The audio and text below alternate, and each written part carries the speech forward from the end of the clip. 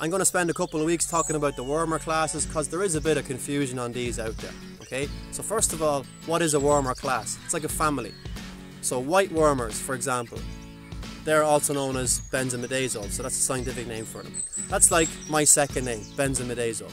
Okay, then within my family, I've got siblings, and albendazole, the active in Albex, is one sibling.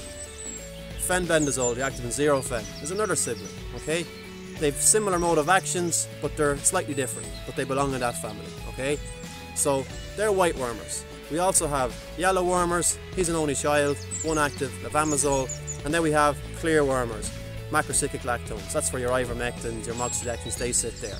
Okay, they are three basic classes. Okay, in cattle, what are they going to kill? They'll kill lungworm, they'll kill stomach worm, and gut worm. Okay, they're the big worms we're concerned about in cattle. Obviously, we also are worried about fluke and maybe to a lesser extent tapeworm. But when we're trying to treat worms, we go to a product in a wormer class.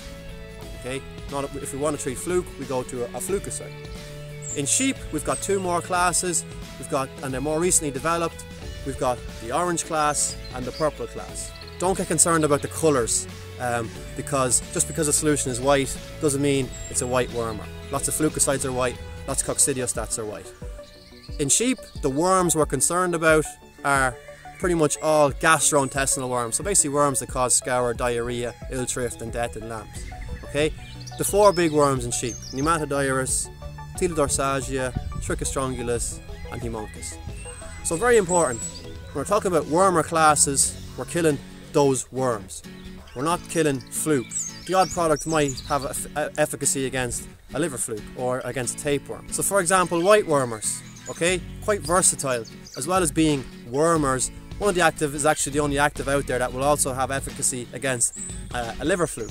And a lot of them will kill tapeworm as well. So we'll look at those next week.